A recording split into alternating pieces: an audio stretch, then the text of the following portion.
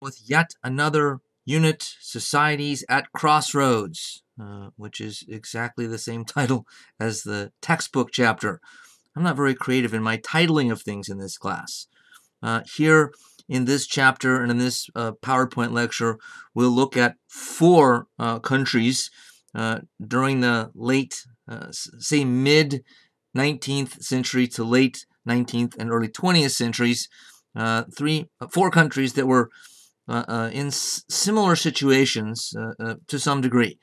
First, we'll take a look at the Ottoman Empire, which was more of an empire, of course, than a single country, centered in Turkey, however. Then we'll look at the difficulties uh, and the challenges facing the Russian Empire, followed by the same with regard to the Chinese Empire, uh, and uh, ending with a look at uh, actually revolutionary changes uh, in Japan uh, at roughly the same time. Bentley tells us uh, that reformers in all four societies, the four I just mentioned, promoted plans to introduce written constitutions, limit the authority of rulers, make governments responsive to the needs and desires of the people, and begin processes of industrialization, uh, meaning moving towards modern economies and industrial revolutions. Uh, and it turned out differently in all four places, uh, and we'll at least explore some of that as we go along. So, the Ottoman Empire first, by the early 19th century, Europeans were already calling, calling the Ottoman Empire the sick man of Europe. Remember, this the Ottoman Empire was the uh, Islamic empire that dominated the Islamic world at the time, uh, and it had been a very, very powerful uh, military uh, opponent to anybody who faced it uh, for centuries. The Ottomans, uh, for instance, in 1453, as we might remember, uh, captured Constantinople, uh, and uh, which was the final uh, nail in the coffin of the Byzantine Empire. But by the early 19th century, the Ottoman Empire was in decline economically, militarily, and otherwise. Bentley saying by the early 19th century, the Ottoman state could no longer ward off European economic penetration or prevent territorial dismemberment. The once powerful realm slipped into decline, its sovereignty maintained largely by the same European powers that exploited its economy. So, by the time we sort of get back to the Ottoman state, uh, their glory days uh, have gone, uh, and the, the empire's barely holding on. Uh, the Europeans are having to loan them lots of money, as we'll see. Uh, so they're the Ottoman Empire's in debt and in debt to the people you don't want to be in debt to, the Europeans, uh, because they have the power uh, to make life difficult for you if you can't pay back your debts. Territorial dismemberment uh, meant that uh, they were the Ottoman Empire was losing territory, uh, one country or empire after another, or peop, certain groups rising up in rebellion against the Ottoman Empire. Either way, uh, a territory was uh, being taken away from them internally uh, and externally. Uh, the last phrase in the quote, the same European powers that exploited its economy uh, and sovereignty maintained largely by such powers, uh, meant that the Ottoman Empire may have collapsed before the early 20th century when it finally did collapse, just at the end of World War One partly because of the end of World War One or World War One itself. Uh, but the European powers kind of in, agreed, somewhat informally, uh, that uh, it would be better off for all of them to kind of contribute to keeping the Ottoman Empire alive, uh, at least until they could figure out what to do with it. Not because they cared about the Ottoman Empire or the Muslim world, they didn't, but because uh, they knew that competition between the European powers themselves, Russia, you know, Great Britain, France, etc., uh, uh, could uh, cause major problems between those countries, the European countries, that could lead to uh, you know a very large and destructive war or wars. And the cartoon you see there uh, is the European powers doing exactly that, competing with each other for territory, uh, carved out of the once mighty Ottoman Empire. And, and, that eventually did start to happen around the beginning of the 20th century or just into the 20th century. Uh, but uh, throughout the 19th century, the European powers did kind of agree to work together to help prop up the Ottoman state uh, uh, for the reasons just mentioned. So the empire was in military uh, decline as well as territorial loss, and I'm not going to go into it, but you can and probably should look at the map to get uh, some indication of where and when and how much territory was lost. The core of the empire was Turkey, uh, what you see kind of in the gold center region there. But all of the outlying regions in different colors uh, were lost at one time or another to one country, uh, people, uh, or another. Uh, remember that from an earlier unit, we learned that the heart or the key to Ottoman military power were the Janissaries. Janissaries were uh, children that were kidnapped from uh, southeastern Europe, which you see on the, upper left of the map, in earlier wars, who were then uh, brought back to uh, the capital and uh, trained to be the um, primary fighting force uh, of the Ottoman Empire. The idea is if we take these people kind of from outside, but bring them up you know, their entire lives instilling Ottoman values and teaching them Ottoman fighting skills and discipline, uh, then they'll be totally loyal to us, and they'll be there's no one else for them to be loyal to loyal to because their families are hundreds of miles away, and they're not going to ever uh, get get to see them. It, as cruel as it may have been to the children, which of course it was, uh, from a strategic perspective, uh, it was actually a pretty brilliant uh, idea uh, and a rather unique one as far as what we've seen uh, in terms of military forces and structures in other uh, empires uh, in this very class.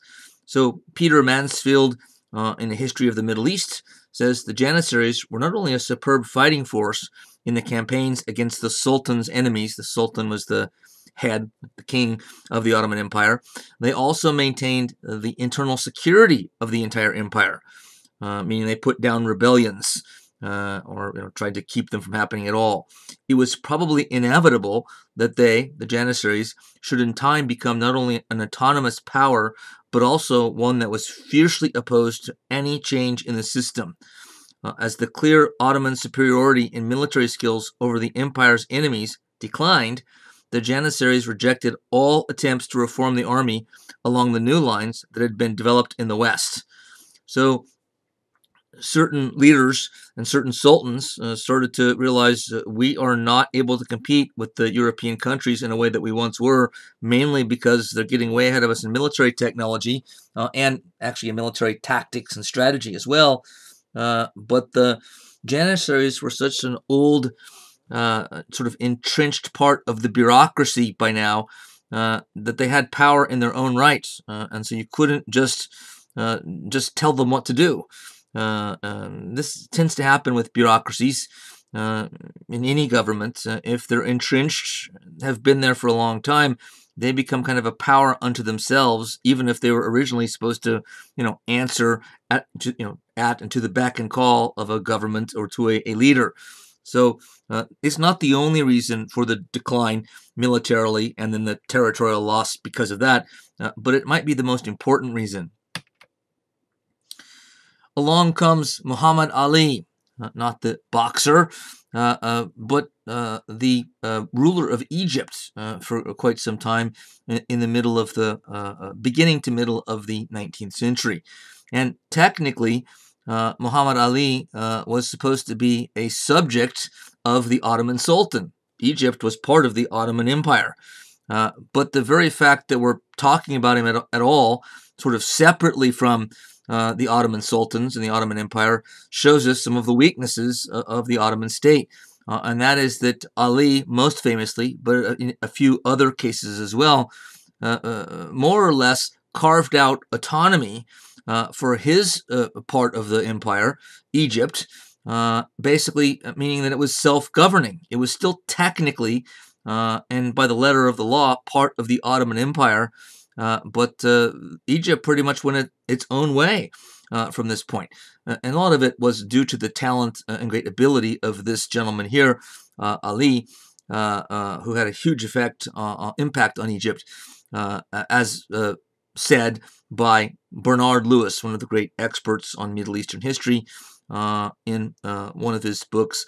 The famous Muhammad Ali Pasha, governor uh, of Egypt from 1805 to 1848, conducted a diplomatic and even military struggle against the Ottoman Sultan and was prevented only by the intervention of the European powers from utterly defeating him.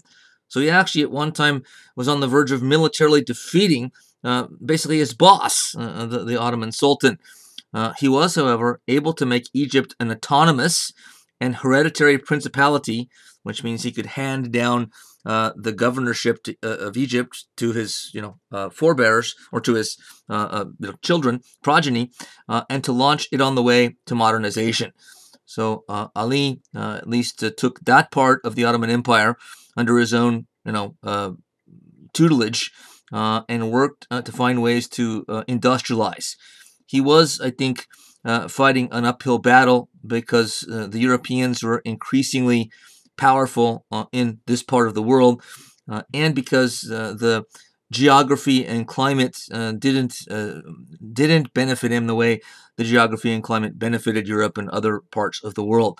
but he tried to ramp up industrial production, agricultural production, get Egypt connected more into world trade markets, etc., with some success. Uh, but uh, in the end, I, don't think it's safe to say that it succeeded in the long run, but probably through no fault of uh, Muhammad Ali's. So the Ottoman Empire, not just uh, Egypt itself, uh, but uh, uh as a whole, uh, began to be over become over reliant on the Europeans, and they didn't want to be reliant on them at all, but they sort of felt they had no choice. Uh, as the Ottoman economy uh, uh, languished for reasons we don't have time to really get into. Uh, it became apparent that the the the financial situation might cause the you know the, the government to go bankrupt. So, as Bentley uh, writes, gradually the Ottoman Empire moved toward fiscal insolvency and financial dependency. After the middle of the 19th century, economic development in the Ottoman Empire depended heavily on foreign loans as European capital financed the construction of railroads, utilities, uh, and mining enterprises. Interest payments grew to the point that they consumed more than half of the empire's revenues.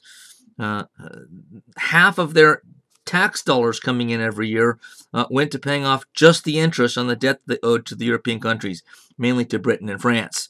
In 1882, the Ottoman state was unable to pay interest on its loans and had no choice but to accept foreign administration of its debts, uh, which again meant mainly the British and French got to come in and uh, kind of be the bookkeepers for them, uh, the, with them having really no choice. Uh, and the, the, Europeans didn't come in and say, hey, you know, we're just here to kind of watch and uh, uh, advise you. They came in and said, get out of our way. we're, we're taking over your finances here because you owe us a lot of money.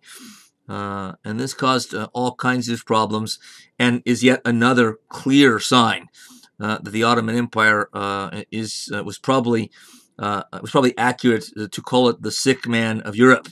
the empire was indeed ill and possibly had a you know a fatal illness at least in the future.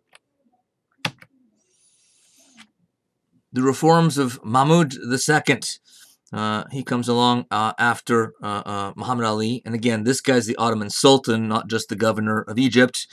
Uh, so technically, anyway, he's a bigger deal.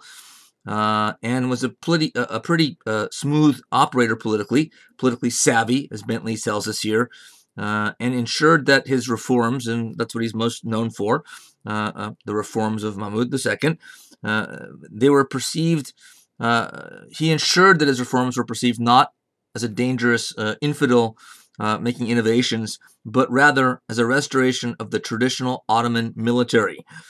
Uh, so, because of the traditions uh, and uh, traditional uh, Islamic, you know, religious culture, he had to be careful about the way he framed his reforms to make them look like they were in keeping with traditions in the past, even though in many ways they were moving away from the past.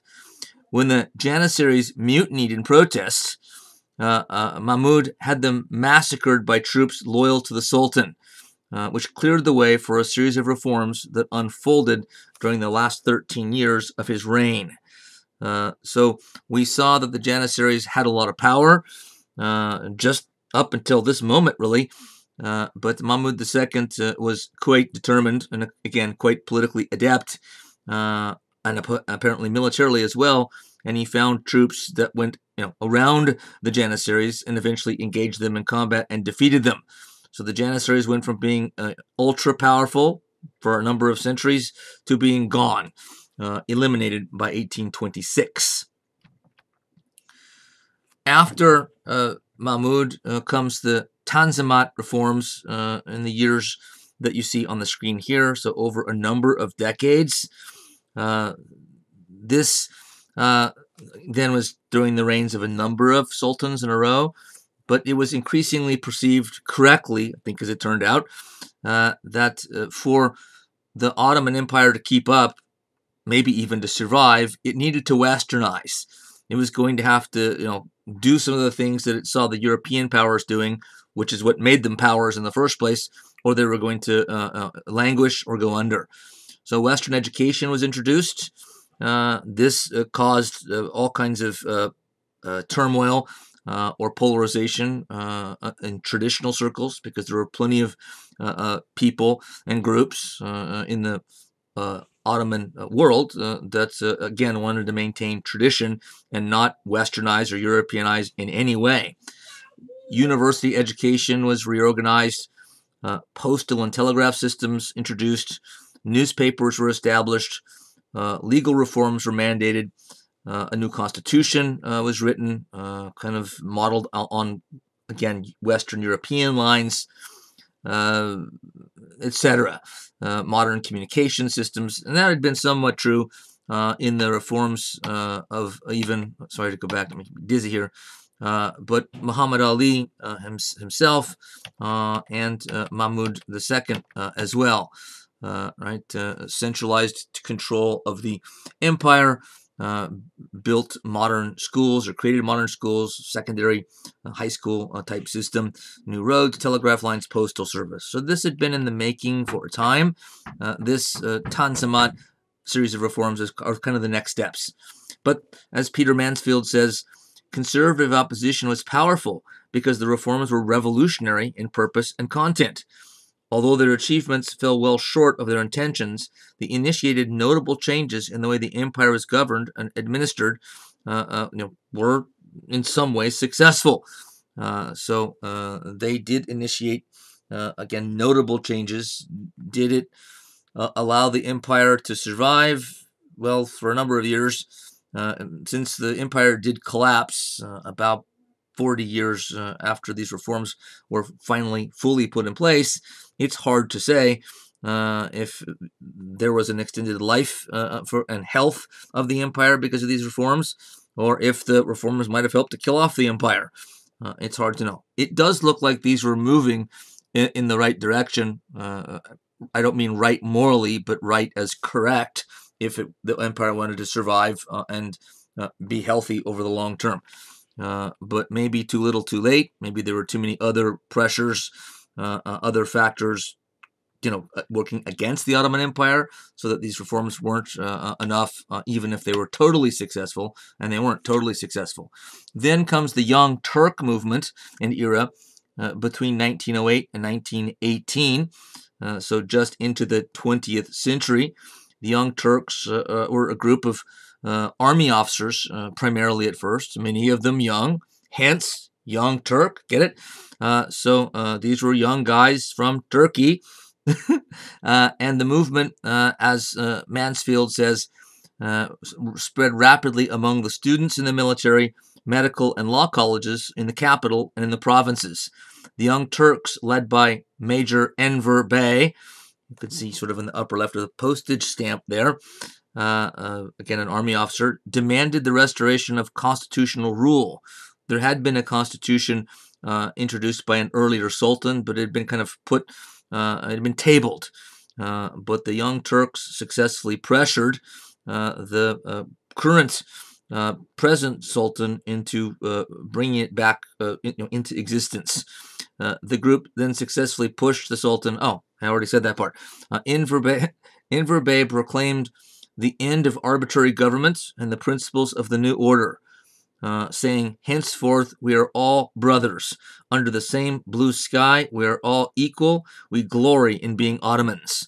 So they frame this as you know, them, the Young Turks, being kind of the most patriotic uh, group. Uh, you can think of them as kind of a political party uh, in the Ottoman Empire. And in the end, uh, it became increasingly clear that they were uh, you know, bent on taking power themselves, uh, which we're not going to get to here, but in a later chapter we will. this gets us to the career, or will get us to the career of Mustafa Kemal or Ataturk, the first leader uh, of an independent Turkey after the fall of the Ottoman Empire on the far side of the uh, First World War.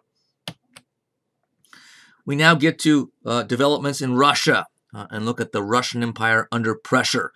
The picture you see there uh, is uh, depicting the assassination of Tsar Alexander II in 1881 by revolutionaries who were by that time already assassinating leaders all over the place, uh, wanting to overthrow, excuse me, Tsarist rule uh, and Romanov rule. The same family, the Romanovs, had ruled Russia for about 300 years by this time. Uh, and they ruled with an iron fist, uh, an authoritarian state, uh, which, in terms of basic political freedoms and democratic institutions, uh, was far behind any other in Europe, in that part of the world. Uh, so no wonder uh, there was revolutionary activity, and it only grew more and more with time. Uh, Professor Bentley uh, says the Russian Empire experienced battlefield reverses that laid bare the economic and technological disparity between Russia and Western Europe, uh, European powers. The keystone of these efforts was the emancipation of the serfs, which we'll get to. Social, re- social reform like that paved the way for government sponsored industrialization, an industrial revolution, uh, which began to transform Russian society during the last decades of the 19th century. Remember on the opening slide, I said all four of these uh, political entities that we're looking at in this unit uh, are all trying to, uh, you know, uh, to one degree or another, industrialize. The stage was set for a debacle, as one historian has said. Russian defeat in the Crimean War. Did you even know there was a Crimean War? uh, there was. Actually, there's still war in the Crimea these days, but this was the the Crimean War between 1853 and 1856. It's not one of your more famous wars. Uh, I don't think American uh, students usually learn about this war very much. I say that somewhat jokingly, but uh, it is true. We don't really learn much about it.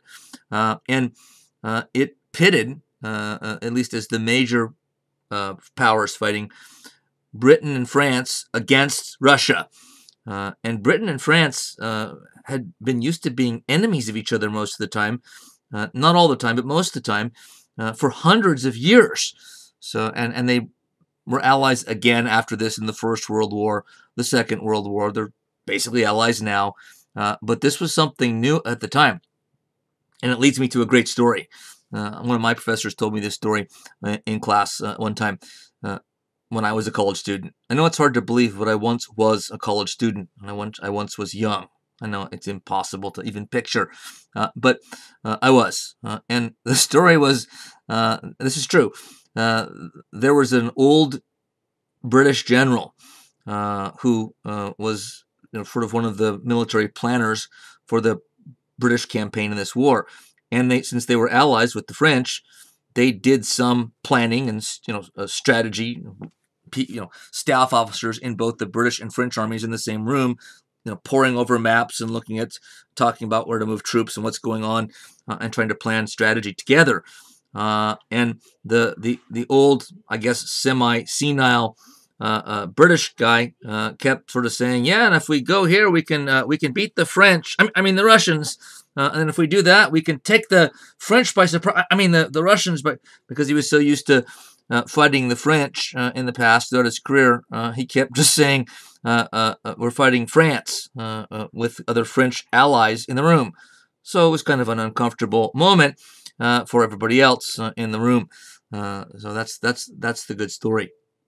not so good. Uh, I loved it in, in, my own day. Maybe I, maybe I massacred the way I told it.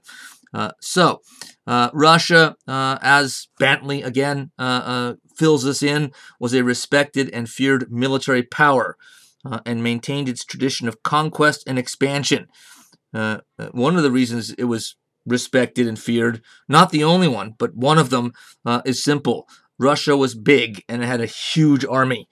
Uh, so uh, this alone intimidated uh, many other kingdoms and states uh, uh, even its uh, European foes and sometimes allies, depending on which war we're looking at.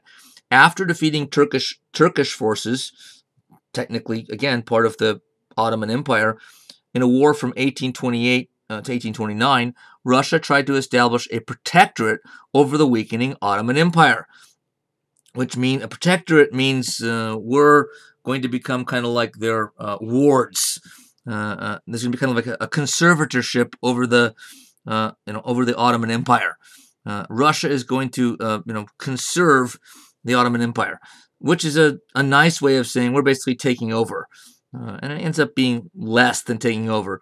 But to a foreign country concerned about Russia's power growing too large, like Britain uh, and or France, uh, they're going to see that as a power grab, and it, to some degree was. so not surprisingly, this brought military conflict between Russia and a coalition including Britain, France, and the Ottoman Empire. Uh, the Crimean War uh, uh, clearly, I'm skipping ahead here uh, in the book, clearly revealed the weakness of the Russian Empire against the industrial powers of Western Europe. The, the militaries on all sides fumbled and bumbled and bumbled and fumbled way through this war. Just mistake after mistake after mistake. They got a lot of people killed unnecessarily. All sides uh, uh, had this problem. But uh, it was very clear, and Russia did lose the war, that they lost the war in large part because compared to Britain and France, Russia was backward indeed, economically, technologically, scientifically, militarily, uh, and on and on. Uh, and so this has to be understood the debacle uh, of the Crimean War as sort of the uh, major springboard uh, to political, economic, uh, and other reforms that come after it in Russia in the era we're talking about. So, sure enough, uh, Alexander II, uh, Tsar in the middle Uh, of the 19th century, uh, uh, was the one who first initiated sort of major modernizing reforms on the other side of the Crimean War. Uh, actually, he had become czar uh, just after, uh, on the tail end uh, of the war, uh, replacing his father. he emancipated the serfs, most famously in 1861. peasants, up until that late date, had not all, but most, basically were owned by wealthy landlords, the gentry or nobility in Russia. There'd been uh, serfs and serfdom in Western Europe, but uh, in the Western European countries, it had ended decades before this. So, another uh, example of Russia uh, being behind the European countries. And Alexander II didn't undertake this reform, uh, freeing the serfs, uh, you know, allowing them to become you know, free citizens. Serfdom was much like slavery, maybe not as bad, uh, lacking a racial or racist element to it, because these are all Russians, but nonetheless, uh, uh, it was uh, something akin to slavery. So this is a modernizing and even democratizing reform, certainly you know in the direction of liberty. but Alexander II clearly wasn't doing it out of you know great concern, humanitarian uh, instincts and impulses. He may have had them, uh, uh, but uh, he was doing this uh, as a way to strengthen Russia. Uh, again, with the Crimean War fresh in his mind. but whatever his motives, the you know this is an important reform, and the most important one, the one he's most remembered for, but it sort of just started the ball rolling to other modernizing reforms, uh, some of which we'll look at. Uh, the moral value of the emancipation, freeing of the serfs, was no doubt tremendous, if incalculable, uh, according to Nicholas Riasanovsky uh, in his uh, uh, masterful History of Russia in two volumes. Uh, he goes on to write, together with their liberty, serfs who had been engaged in farming received land. Uh, former serfs were to reimburse the state over a period of 49 years. So you got land that the government basically uh, agreed to pay off the nobles and the gentry, the former landowner who used to have to pay rent to, uh, and couldn't leave couldn't leave the land uh, unless they allowed you to, uh, or said you could you know leave for a while, which they usually didn't. Uh, so this the only way that the czar could make this happen, and he knew it ahead of time, uh, was to find a way to pay back the landlords who were going to be losing all this labor. Uh, and since the peasants didn't have the money for the most part uh, to pay the, land, the, landlords, the former bosses, nobles, uh, then uh, the government uh, sort of basically was the banker here or the middleman making this deal happen, and they in, they paid off the nobility immediately uh, and then collected from the peasants, uh, uh you know, uh, like a mortgage uh, payment, uh, uh, you know, every month, every year, uh, until peasants could pay it off, and some could, some couldn't do it. so it it wasn't necessarily a great arrangement. It didn't make life, you know, sort of sunny and carefree for most peasants, but it clearly was a step up from being a virtual slave.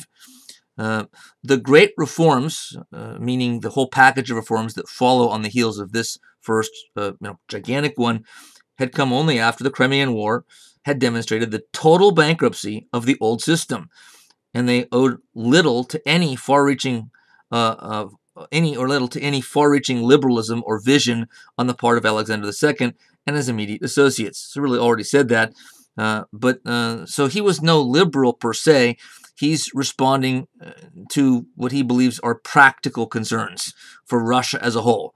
That doesn't mean he had no concern for the average, you know, person and peasant farmer in Russia, but that he's thinking about Russian power, uh, the Russian economy, the Russian military, uh, etc. And of course, that was part of his job.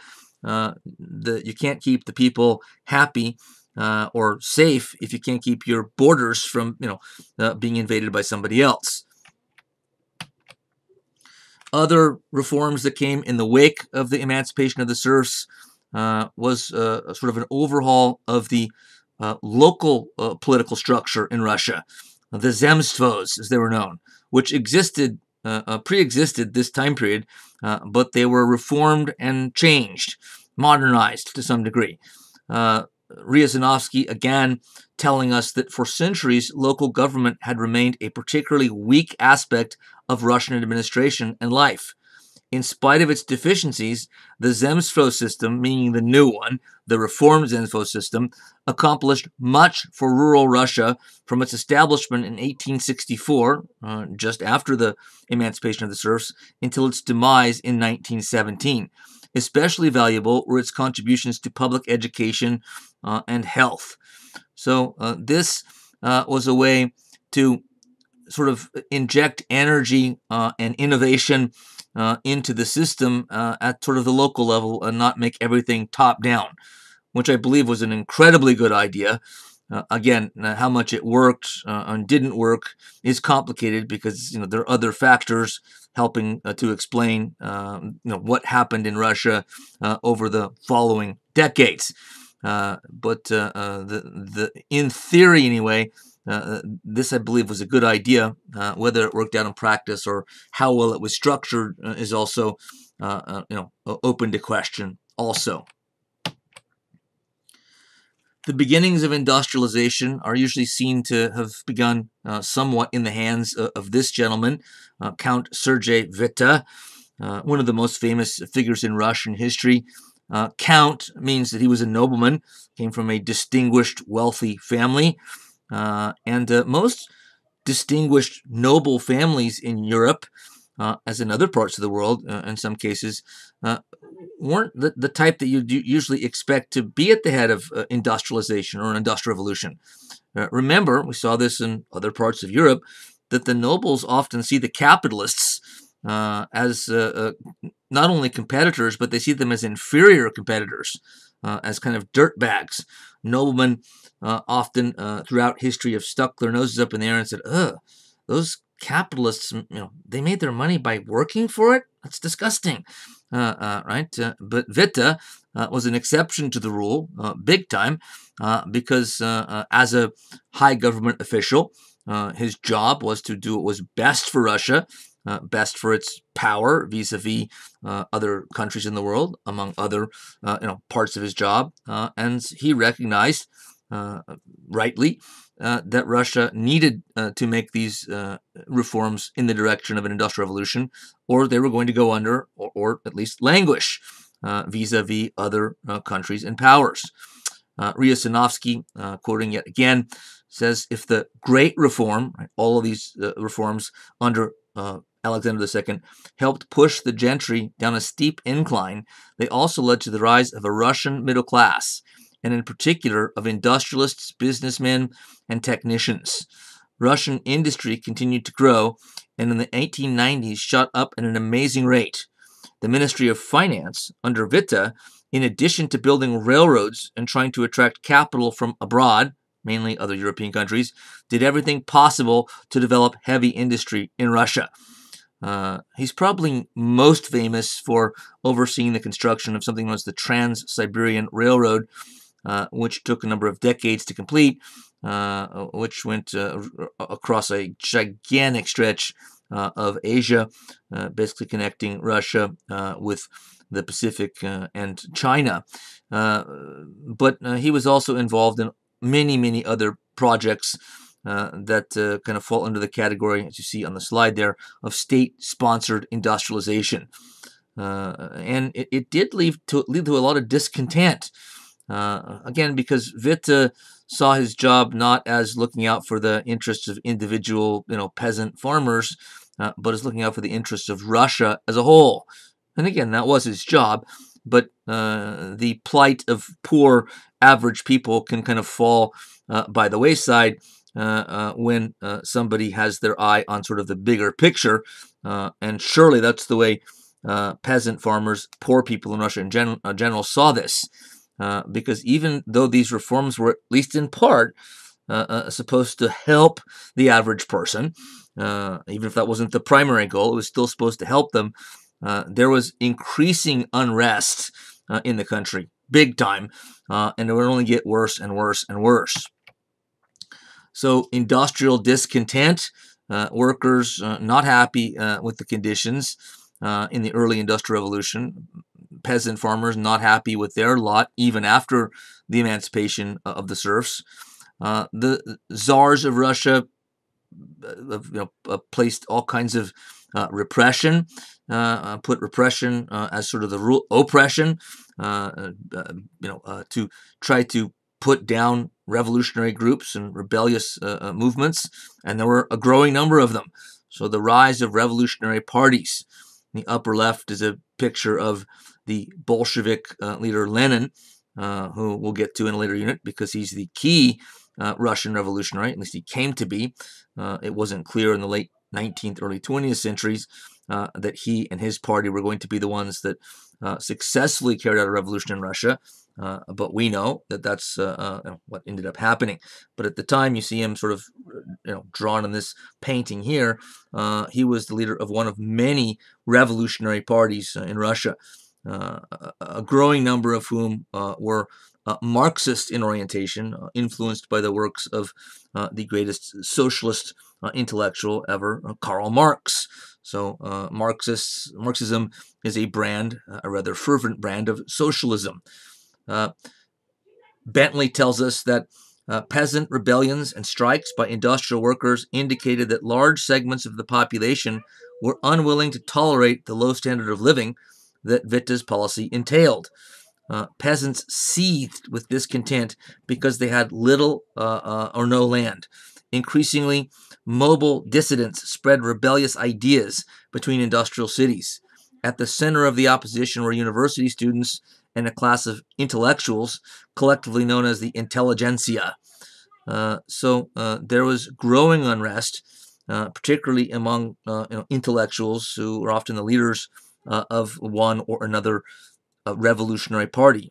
And by the way, it was, of course, illegal and dangerous to be part of a revolutionary party, uh, some of which were already by the 1870s, 1880s uh, decades before the revolution, uh, uh, you know, actually did topple the czars and the Romanov dynasty under the leadership of Lenin, who you see right here, they were already assassinating uh, leaders all the time. In fact, our opening slide in this entire lecture, or in this section of the lecture, uh, showed a bomb exploding uh, and killing Alexander II, the guy that just pushed through the, the great reforms. Uh, in 1881, he was assassinated uh, by one of the revolutionary groups, succeeded by uh, his son Alexander III, uh, who was notorious throughout the rest of his career and you know a czar uh, for being a staunch conservative, reactionary. Uh, and uh, it probably had something to do uh, with uh, you know not necessarily witnessing, but you know being alive and sort of having to hear that his father had just been assassinated by radicals. so Russia was starting to industrialize, but not without a great deal of pushback uh, from the population.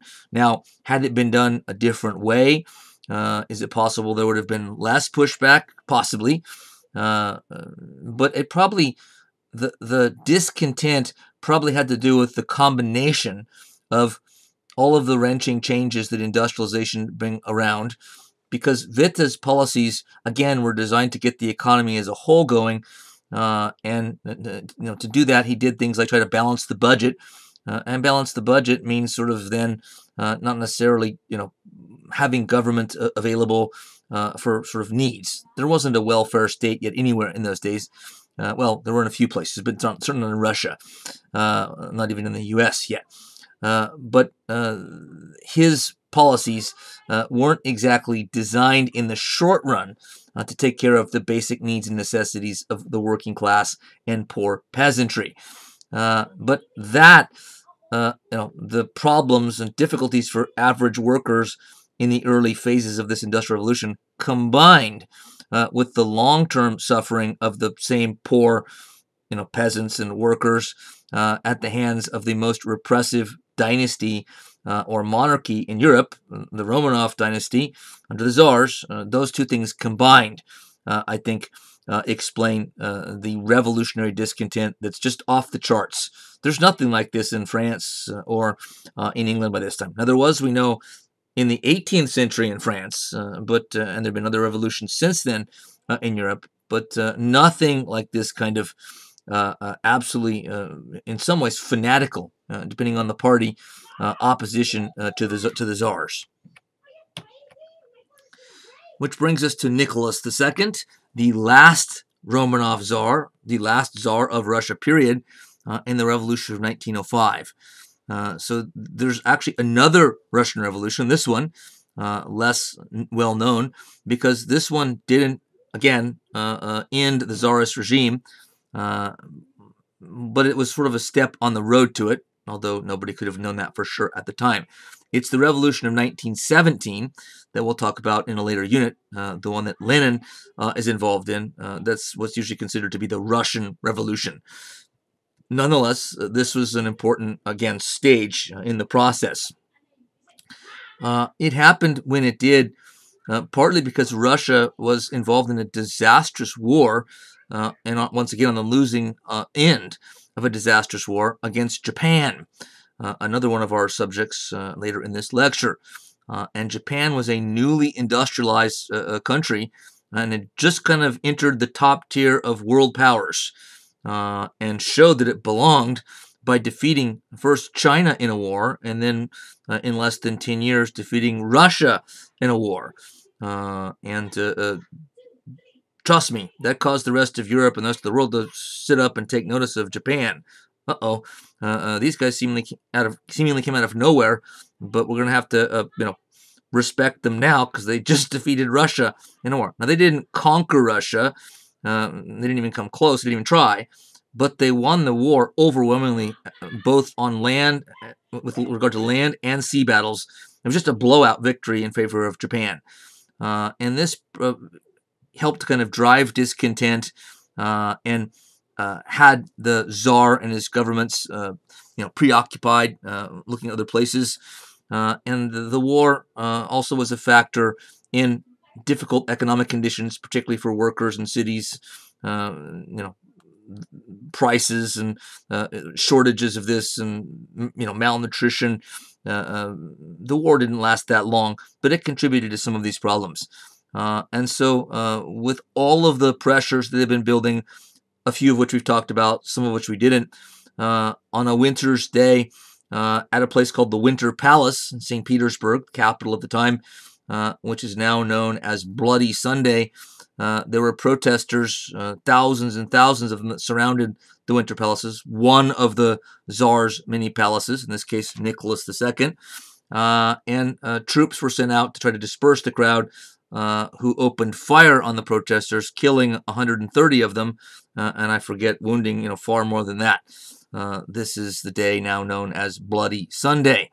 and so it has an infamous uh, uh, you know, uh, history to it. There are, other way, by the way, other Bloody Sundays uh, in other countries' histories. Sometimes when they somebody coins a phrase like this, it gets sort of uh, you know used over and over again. So there's a bloody Bloody Sunday in Irish history, for instance, uh, and a few other places. Bentley reveals to us that the revolutionary turmoil paralyzed Russian cities and forced the government to make concessions. Sergei Witte, uh, urged the Tsar to create an elected legislative assembly. The Tsar reluctantly consented and permitted the establishment of the Duma, as it was known, Russia's first parliamentary institution. Uh, so uh, the Tsar didn't want to do it. Uh, as always, uh, was a nobleman uh, thinking, uh, you know, about the future and about what was going to work and wasn't going to work. And he realized if we don't make some sort of concession, this is going to get worse uh, and you know the monarchy might get overthrown. We're going to have to make some sort of a major concession, some sort of major compromise to sort of you know uh, try to calm the waters out here, uh, uh and you know so this thing doesn't get out of control. Uh, and so the czar uh, had a legislative body created, like a Congress, like a parliament. with elected representatives, you know, with the voting public, getting to vote politicians into office. Uh, so it was a major step uh, since Russia was way behind Europe uh, in, in this sense, politically as well as otherwise, as we know. Uh, but uh, a lot of the European countries had gone through this step, you know, acquiring a a legislature, elected, uh, you know, a body, at least one, uh, decades, sometimes centuries before this. Uh, so Russia's late to the party, but it's an it's an important step uh, though the power of the Duma, or the new legislature, uh, it became clear pretty quickly, was limited. It's still better than not having it at all from a democratic perspective, from the perspective of the needs and desires of the people. Uh, but uh, uh, it wasn't quite what it looked on the surface, and that was by design.